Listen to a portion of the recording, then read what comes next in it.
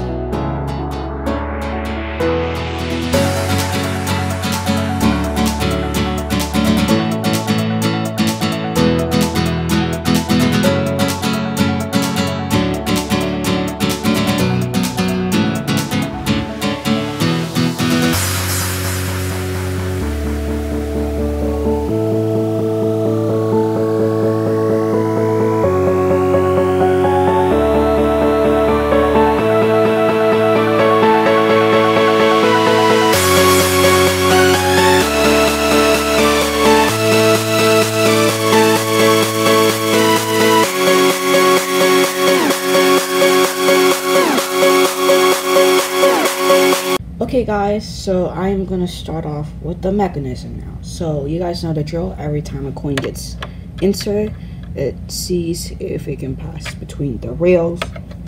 If if the coin is too small, like this penny, it'll fall down into the hole and get rejected.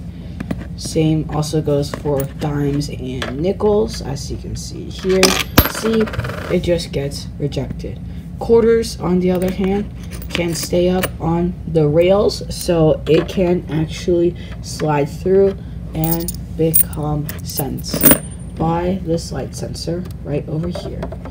So this light sensor senses the coins passing through and it will tell the machine that the person has inserted two quarters or in this case just one. Once the person has set has given two quarters, then they will be able to activate the next part of the mechanism. Okay, so now these are touch sensors, which basically can um, detect to see if a person has pressed this button or this button.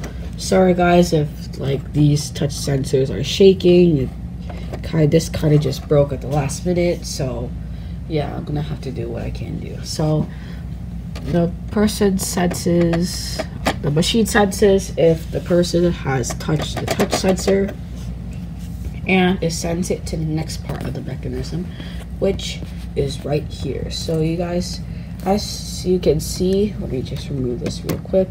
These, it has been loaded with two, um, so it's been loaded with the Coca-Cola and the Pepsi. Keep in mind, guys, that you can actually extend this so it can't hold more reloads.